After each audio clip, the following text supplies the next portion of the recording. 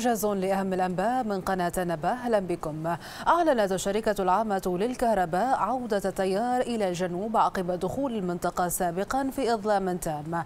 الشركة وفي بيان لها عبر صفحتها في فيسبوك أوضحت أن الانقطاع سببه خروج وحدات للتوليد في محطات الزاوية وجنوب طرابلس والخمس فضلا عن الوحدة البخارية الأولى في محطة كهرباء مصراتة وأضافت الشركة أن خروج الوحدات تسبب في فقد قدرة إنتاجية قدرها 1400 ميجاوات مؤكدة إرجاع عدد من تلك الوحدات إلى الشبكة.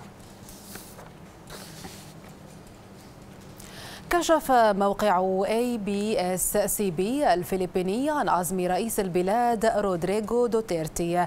إرسال سفينة إلى ليبيا بعد اختطاف ثلاثة من مواطنيها.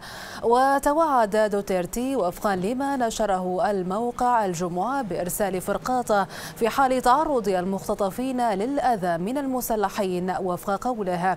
كما أشار الموقع إلى أن دوتيرتي يرغب في إظهار القوة بعدما أرسلت كوريا الجنوبية سفينة حربية إلى ليبيا لضمان إطلاق مواطنها الذي اختطف هناك.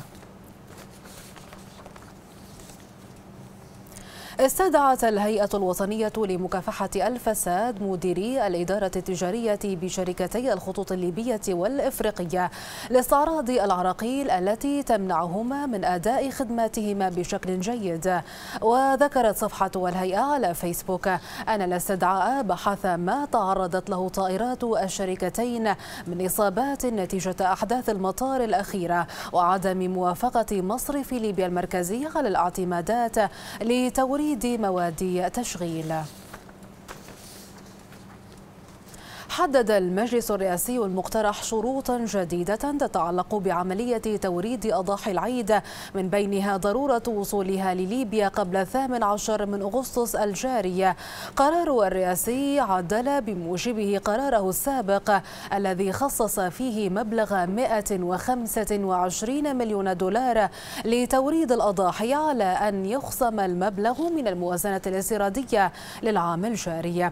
وشدد القرار على أعطاء الأولوية في منح الموافقات للشركات التي تقدم ما يفيد بوصول الأضاحي أو التي تتعهد بوصولها للموانئ الليبية حسب التاريخ المحدد. وأن أي شحنة تصل بعد هذا التاريخ لا تعد مشمولة بهذا القرار.